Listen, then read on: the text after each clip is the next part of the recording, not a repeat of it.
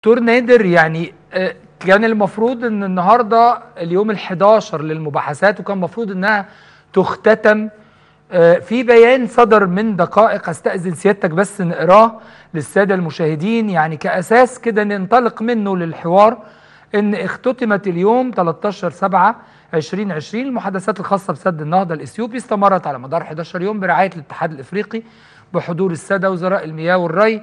من الدول الثلاث وممثلي الدول والمراقبين بهدف التباحث حول اتفاق ملء وتشغيل السد عقدت اليوم اجتماعات للجان الفنية والقانونية من الدول الثلاث بغرض الوصول لتفاهمات بشأن النقاط العالقة بالمسارين طبعا الفني والقانوني وتلا ذلك اجتماع للسادة وزراء المياه تم خلاله استعراض مناقشات اللجنة الفنية والقانونية وعكست استمرار الخلافات حول القضايا الرئيسية بشأن قواعد ملء وتشغيل السد في نهاية الاجتماع اتفق السادة الوزراء على قيام كل دولة برفع تقريرها النهائي عن مسار المفاوضات غدا إلى دولة جنوب إفريقيا بوصفها الرئيس الحالي للاتحاد الإفريقي تمهيدا لعقد القمة الإفريقية المصغرة ماذا يعني هذا البيان في رأي سيادتك؟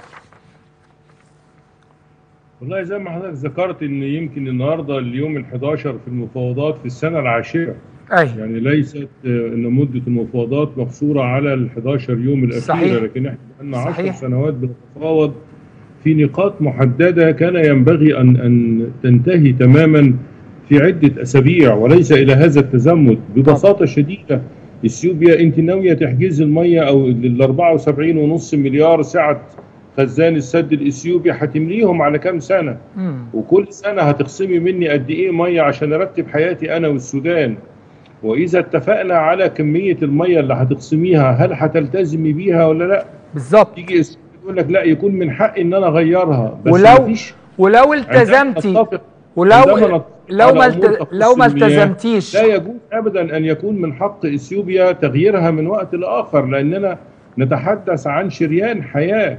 أي. فبالتالي إحنا اتفقنا على كمية معينة هتحجز من المياه. في عدد معين من السنوات ليه إثيوبيا تطلب أن يكون من حقها تغيير ما تم الاتفاق عليه منفردة دون الرجوع إلى مصر والسودان أي. هذا